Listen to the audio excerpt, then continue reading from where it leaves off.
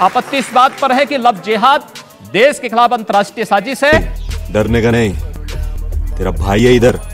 जब बिंदास बता मेरे को तेरे को क्या लगता है।